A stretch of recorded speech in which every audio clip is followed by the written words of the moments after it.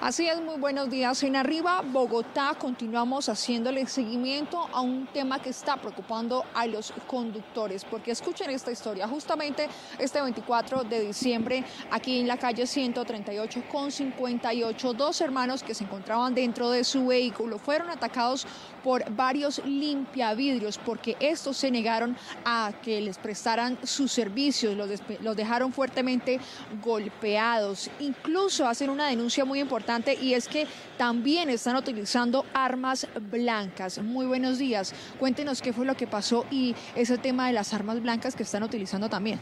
Buenos días, Angie. Me llamo Felipe Borda, soy habitante de la localidad de Suba y eh, respecto al caso de Mateo, yo soy el amigo con el cual él se iba a encontrar aquí en el McDonald's. Eh, cuando llegó al sitio ya había sucedido todo el problema, pero me encuentro a mi amigo completamente ensangrentado y los tipos ya habían huido. En ese momento se encuentra uno de los limpiavidrios al cual me dirijo y de forma desafiante me intenta como encarar, ¿no? Eh, en el sitio también se encuentran varios vendedores informales que intentan defender a los tipos diciendo que ellos no, que él no había hecho nada y que los demás no habían hecho nada.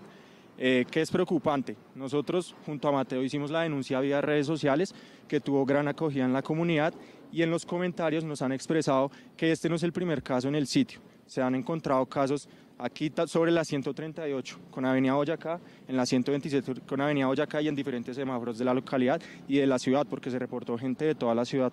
Vemos también, y tuve contacto con gente de la Avenida Villas, de Prado Pinzón y de todo el sector de Colina, donde el, problema ha sido recurrente y donde la presencia tanto de las autoridades como de la administración ha sido nula y ha sido muy, no ha, estado presente la, las autoridades dónde estarían ocultando, ocultando de pronto esas armas blancas que ustedes mencionan?